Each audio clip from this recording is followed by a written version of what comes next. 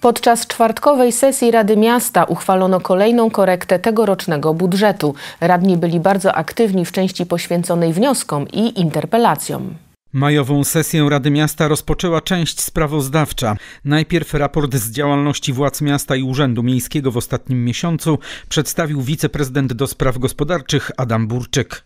Rada przyjęła sprawozdania dotyczące terenów zielonych w mieście, także współpracy władz miasta z organizacjami pozarządowymi. Przyjęła również raport o stanie bezpieczeństwa i porządku publicznego w mieście, przygotowany przez Policję, Prokuraturę i Straż Miejską. To była pracowita sesja. Radni głosowali nad kilkunastoma uchwałami. Zatwierdzili uchwałę zmieniającą regulamin dostarczania wody i odprowadzania ścieków. Podjęli też decyzję o przystąpieniu do systemu biletu metropolitalnego. Kilka uchwał dotyczyło korekty budżetu miasta. W niej znalazły się punkty zwiększające wydatki.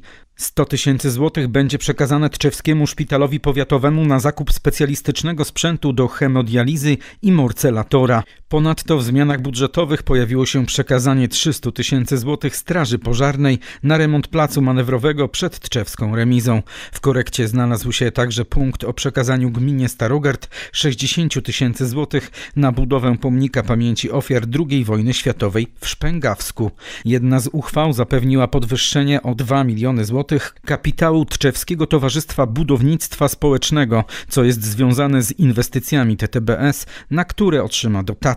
Ponadto radni zdecydowali o zatwierdzeniu strategii rozwoju miasta do 2030 roku oraz o odrzuceniu petycji dotyczącej zmian w dofinansowaniu opieki nad dziećmi do lat trzech. W części sesji poświęconej składaniu wniosków, interpelacji i podziękowań głos zabrało kilkunastu radnych. Wnioski złożyła część z nich, w tym cztery Maciej Skiberowski oraz Józef Cichon, Ewa Ziółek-Radziszewska, Roman Kucharski, Łukasz Brzątkowski, Tomasz Tobiański i Tadeusz Dzwonkowski, a Kazimierz Ickiewicz odniósł się do odpowiedzi na swoje trzy poprzednie interpelacje.